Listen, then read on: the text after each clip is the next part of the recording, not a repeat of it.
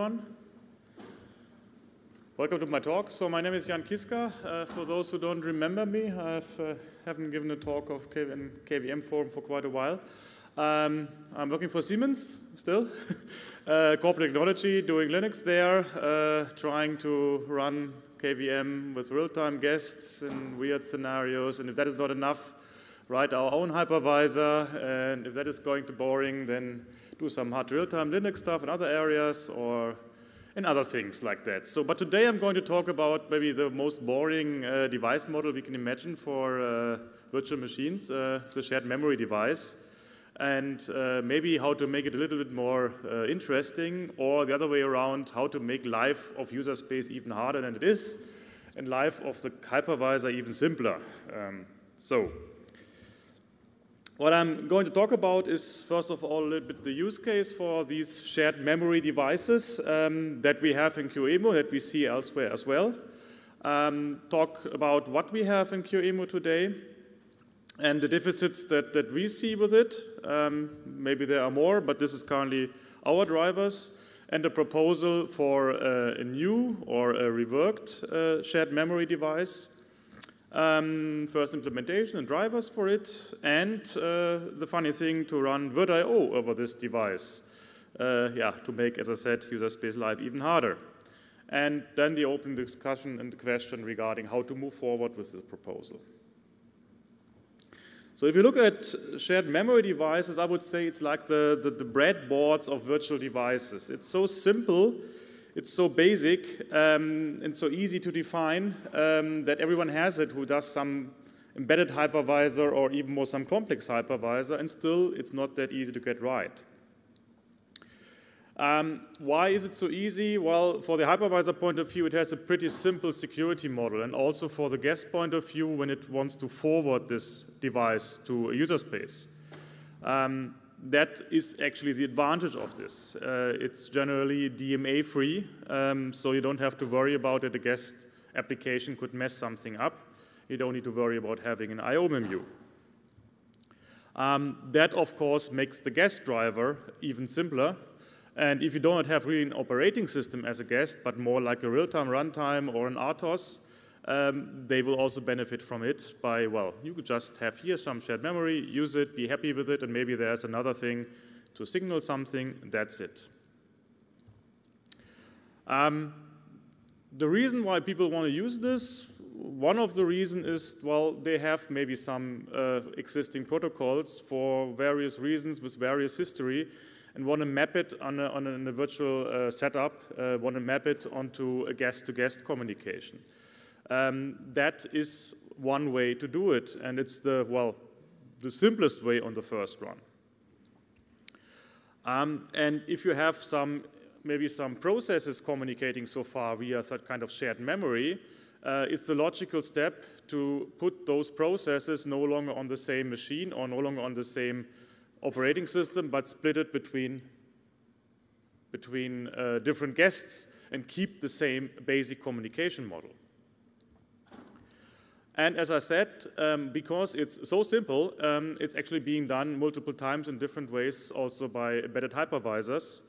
Um, but not only for the embedded world, um, it's also used for even larger things. Uh, so I found, for example, that uh, the machine, HP machine, has an emulation model in QEMU, and it also uses uh, IVSHMEM uh, to model their fabric attached memory uh, between those machine nodes. And actually, how QEMU got this IVSHMEM model a while back um, was driven by nothing embedded and nothing totally the machine-like, but more like very basic uh, need to uh, interconnect guest applications for high performance reasons. So that was uh, originally done by Cam Macdonell and his colleagues um, to have a cross VM IPC mechanism, which is very, very simple. And if you are aware of it and using it efficiently, it's even the fastest imaginable, uh, one of the fastest imaginable communication paths. So um, that model was then merged uh, into QEMU a long, long time ago, uh, eight years ago, I think, something like this, as IVSHMEM. So it was originally called Nahanni as a project name, and as IVSHMEM, it popped up then uh, in QEMU. And so it's a PCI device from a guest point of view, and it has basically two modes in its current implementation. So one is just shared memory. Um, there's a PCI device, there's a resource attached to this PCI device, it's a shared memory. Use it, be happy, and uh, yeah, don't request more, okay. But usually people want more. They also want a little bit of signaling. And for that, there's a second model existing, which provides a way to interconnect or to signal the other peers, could be many, um, an interrupt, and they can react on some change maybe in the, in the shared memory. So the second mode uh, is requiring actually additional server instance, uh, which interconnects the VM, uh, the QEMU instances, and make sure that everyone knows basically on the, on, on the QEMU level where to signal or where to send the signals to and, and which resource to use and further things. So that's, that's the basic model but it has some downsides. And as we start using it, um, not with QEMU actually, but with the Jailhouse hypervisor, the first thing we ran into when we wanted to use it more well, robustly was the missing lifecycle uh, management for this device. So as it's an inter-guest communication, a guest-to-guest communication, uh, the guest, the other guest may not know if one guest disappears or if one guest is no longer active. It can find it out indirectly by having the timeout and some other things, but the hypervisor knows if another guest disappears or if it just shut down or if the connection broke or whatever. The guest itself, well, this basic model has no knowledge. So that was the first thing where we realized, okay, there's something missing and we should do something about it. And actually this kind of state information between the guests is so generic that you want to have it basically with every protocol. It can be a zero or one state, it can be even complete uh, state space you want to span this way, but this is kind of a common dominator in the initial setup of peers in a, in a shared memory setup, you want to have uh, some kind of information plus the ability of the hypervisor basically to compensate if a guest can no longer update its own state. So yeah, this is a, this is a deficit. We also see the deficit actually, this, this flexibility of having the two modes doesn't make things easier because as a guest driver, basically uh, you want to support usually uh, the signaling, you have the use cases for the signaling. If you actually configure it, it's a different thing, but having these two modes only makes things more complicated. That should be actually more mandatory as optional. And if you look further into the details and you are really about a little bit of performance, um, you also notice that the interrupt handling is not really optimized in the current IVSHMEM model for the virtual device scenario. So you need too many guest exits uh, for certain paths and it's actually needed.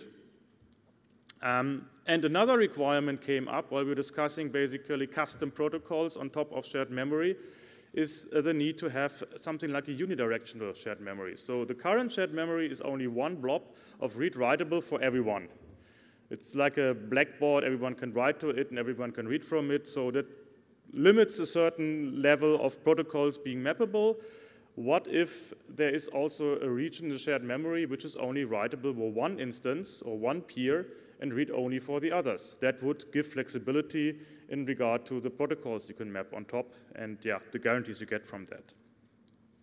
So that for is for the design part, and if we now look at the implementation, uh, things are not really getting, better. Um, as the driver for the guest is so simple, no one ever bothered about upstreaming that driver. So there is a UIO driver existing, which was developed long time ago, and as we were adopting this uh, thing, we of course changed it a little bit. So there was a branch of this thing even for our scenario, and nothing was upstream. Um, so that's unfortunate. Even if it's 300 lines of code or less, uh, you have to carry the patch, you have to carry the module just to get access to this shared memory. And furthermore, if you, if you start up this uh, uh contrib uh, shared memory server in order to connect your QEMU instances, what it says, oh yeah, this is example code, do not use in production. Hmm, okay. Uh, but I want to use it in production. What to do now? Should I rewrite it and make it even worse? Um, so yeah, there is apparently someone stopped in the middle. Um, for whatever reason, maybe there is no interest anymore, but we see some, so that something has to be changed in order to make it really more seriously usable. So with that in mind, um, and actually I was uh, dealing with this topic a long, long time already, um, we started to think about uh, redesigning IVSHMEM with these deficits trying to be addressed. And maybe I missed some, that's something for further discussion, but this is basically the proposal now. So one of the first things, as I said, we added when we adopted IVSHMEM for the jailhouse hypervisor was the lifecycle management tracking. Um, that is back hypervisor backed. Um, that's now properly specified and um, yeah, available, not just for a peer-to-peer -peer scenario as we have in jailhouse currently, but even also for a multi-peer scenario. Um, yeah, the interrupt support has been reworked in the sense that you know if you have n vectors, your other peers have n vectors as well, so you can use them. Um, of course, if you have a protocol which uses less or which can negotiate the number of vectors to be used, that's up to you, but this is kind of a helpful indicator how to, how to use interrupts. Furthermore, as you noticed, this thing optimizes for um, the virtualization case, so we should avoid the number of exits we take per interrupt on the guest side. Simply, you only take one when you inject the interrupt um, at most, um, not more. That's basically the point. So interrupt is really an edge-triggered event only. Um, that's it. Um, furthermore, we make sure that unprivileged access to all the register state, relevant register state, can be handed out from the guest driver to the guest user space uh, via UIO. Um, and also uh, what we implemented is uh, negotiation of the protocol. So you have a shared memory, it can be anything to the guest. There can be multiple instances of the shared memory, so which one is which? So at least you want to have, as a first step, a protocol negotiation, and this is easily probable also, because we added it as a PCI class interface parameter. You can easily probe the right driver on a Linux uh, just by exposing this protocol ID to the guest side. And last but not least, unidirectional uh, shared memory sections. These are optional. If you don't need them, you don't need to add them, but they are there. Um, and last but not least, uh jailhouse requirement. We do not want to allow the guest to remap uh, the shared memory around its own guest space simply because we lock down the guest physical address to host physical address mappings while the guest is running. This is an option. You can use still the PCI model of it, but um, if you want to lock it down, there's the second path, which the guest is now aware of because it's part of the specification, that the memory might also be fixed in guest physical address space. So, how does it look like? Um, so we, we, we took the shared memory as a whole and added sections to it. So the first section we find now is the state table, which is basically uh, yeah, the state information we want to keep about the other peers in shared memory. This is read-only for the guests. It's maintained by the hypervisor um, by, by updating the content in the corresponding entry of the table for the peer when the, when the guest says, okay, I'm changing my state from 0 to 1 or to 1,500, whatever. Hypervisor takes care of it. Hypervisor also takes care of it when it sees the guest is disappearing or resetting or whatever to clear that state to zero. So zero is basically the reset state by definition. And it's also taking care of signaling this kind of change, like in VirtIO, the config change. This is now signaling, okay, there is something happening, please check your peer states. Then we have, come on, what's up? Okay, there it is. Then we have, of course, the standard read-write section, um, as it used to be. Uh, writable, readable by all peers. Um, that section can be zero if you don't have a use case for it. Um, that's the next one. And then we have these so-called output sections. So one peer, if they are non-zero, one peer has, uh, each peer has the same size of section where only that peer can write to and all the others can only read from. So, well, the first thing, of course, we need some QEMU model for that to play with it. Um, actually, it was the second case, but anyway, it plays it here first. Um, so we have now a demo or a prototype, so to say, um, not yet published to the list or pushed to the list, but uh, you can look up the, the resources for that, uh, which implements this new specification um, in form of a, of a, virtual device and in the form also of an updated server instance uh, for interconnecting um, the QEMU instances. The server now also defines a couple of common parameters that all guests should use in the same way, like the output section size, if non-zero, the number of peers that the guests should expect at most simply because we have these tables there and, and, and things like this. So you should know how many guests could appear potentially. Um, how many vectors, of course, uh, should be exposed, event vectors, and the protocol ID that all sides should see. We have another implementation, surprise, surprise, for Jailhouse um, that basically exploits these features in the statical setup. It's a very small model, and it's basically all the point about. This is just 500 lines of code to make it really small and really tiny. Um, that's the whole thing about it. And for Jailhouse, this shall remain the only virtual device we are providing, and that's basically also a reason to uh, look further into what we'll later do, VirtIO. So um, driver-wise, there's now a written UIO driver available. So if the spec is going to be settled at some point, we can push that driver finally. Uh, it's written from scratch, as I said, following um, the latest models for that. It supports interrupt throttling properly now. That means no guest can kick the other guest in an infinite or, or kind of overload scenario by, by permanently sending interrupts. Um, there are some minor further details um, optimized on that of course, exploits all the new features added to this. Um, yeah, that's the UIO world. Just for reference, we also have traditionally developed um, another, yet another shared memory-based uh, or peer-to-peer -peer network, virtual network interface driver. That is uh, legacy, so to say, from the jailhouse times, but it also has been mapped now on the, on the new model to demonstrate and exploit the new features, but probably we will supersede this uh, with the VirtIO approach. So why do we want VirtIO over shared memory now? So again, for the case where there is really only that one device with your hypervisor, you want to still exploit a certain level of higher feature on top of it. And that's where now, logically, VirtIO could come into place. We need some um, yeah, protocols for this higher, for this higher uh, communication, like for network, for storage, for serial console, you name it. And we don't want to reinvent those wheels. They are already there and the drivers, of course, guest side-wise. So how to implement it? Um, so we, um, well, defined a VirtIO transport for shared memory rather than for PCI or MMIO or S390. Um, that is either generic, could either be generically defined as an abstract VirtIO uh, shared memory device, but in this case, so far, it's concretely mapped on the IVSHMEM 2.0 model. It maps all the data to be exchanged naturally in the shared memory because it's the only common part, including rings and buffers and so on and so forth. Um, and it also implies, of course, that your guest physical memory that is written in all your tables and descriptors in VirtIO now implies not guest physical address, but uh, it's the shared memory offset. Furthermore, we need the configuration and the registers, so to say, that normally the front end would use to configure the device in the back end. That is also mapped to shared memory. We will see it later on. And yeah, there's a proof of concept implementation available. It's surprisingly working uh, for Linux. Um, it just changes the transport driver, no touching of the upstream uh, top-level drivers like VirtIO console or block or something. How does it look like? So take a simple example, VirtIO console. The driver, as I said in the top, VirtIO console is just the same. Uh, inserted this new VirtIO shared memory transport driver.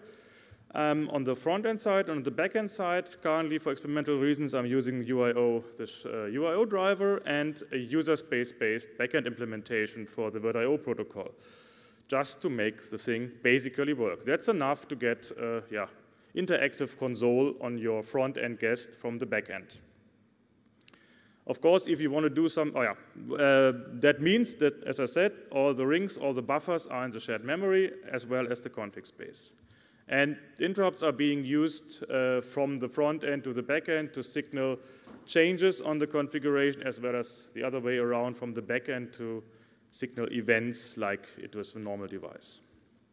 If you want to do something more, well, performance critical, although still it remains not the optimized way, of course, uh, you probably want to have for VirtIOnet, so for example, you want to have the, the termination of the data plane in the kernel. Um, for that, no implementation exists so far, but that might be the way to go if this thing uh, is considered useful, um, is to attach it directly in the kernel to a physical network device, to a bridge or whatever.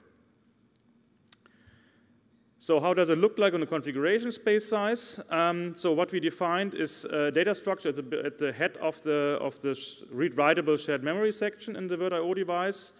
basically mapping all the registers you normally have for VirtIO devices into that shared memory. So the red ones are read-only for the, the front end, for the guest driver. The, blue, uh, the green ones are read-writable. So how do you signal now a write access? That's actually a more complicated thing because it's shared memory. The other side, the backend, doesn't see if the front end writes something to it. We need a little protocol for that. So basically, there is an additional register called uh, write transaction that's normally set to zero, or should be zero in order to start a transaction.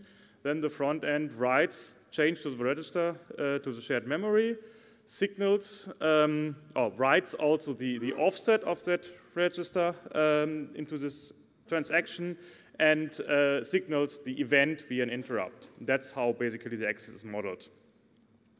Um, and furthermore, we did a little bit of adjustment for the configuration change spaces, but I'm not going to go into details here. Um, so how to move forward with this? So our primary goal is to establish a standard for shared memory devices. That's why we are pushing this forward and um, make the shared memory officially also uh, make shared memory also official transport for VirtIO. How could this be achieved? Well, there are many options. I would like to discuss it these days. Um, either VirtIO over abstract shared memory, then we leave it open what kind of devices underneath, or we put um, shared memory, IVSHMEM version 2, as it is right now, as a dependency for this VirtIO transport. And that, of course, raises the question what to do with the IVSHMEM 2.0 specification. Should it be maintained inside QEMU? Of course, used by Jailhouse then. Um, should it remain maybe just Jailhouse specific because QEMU has no longer interest in all this uh, shared memory stuff? Um, or maybe could we make this shared memory device, although it's a little bit off respect to other VirtIO devices, part of the VirtIO spec? So our offering basically on this, of course, we're taking, uh, happily taking feedback and also willing to change the specification according to your input and your further needs. But I'm also willing to work on the QEMU side for that for various good reasons. So let's discuss further about this, um, well, if and how we could come and move forward with this. With that, I'm done. That's just for reference. You want to play with it, the repositories, the pieces of it, and thank you for your attention. I'm open for question. Markus in the back.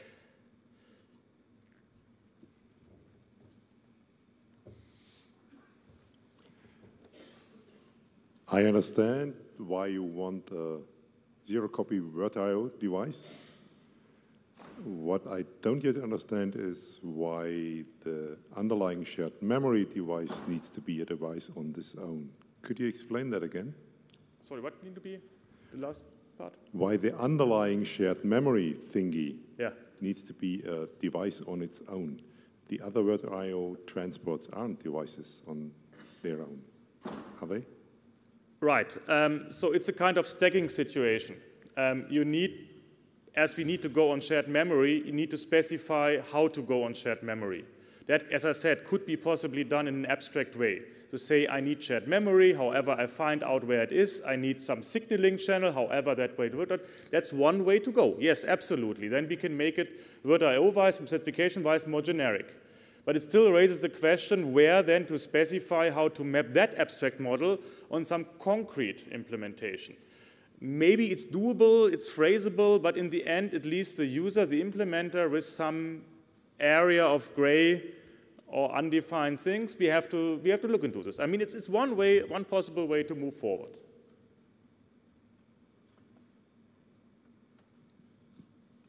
So this is not a question, this is a remark. Uh, think you, you read the document in the QEMU carefully about IVSHMEM and addressed all the horrifying shortcomings. At least some of them, yeah. Don't use IVSHMEM as it is now. yeah.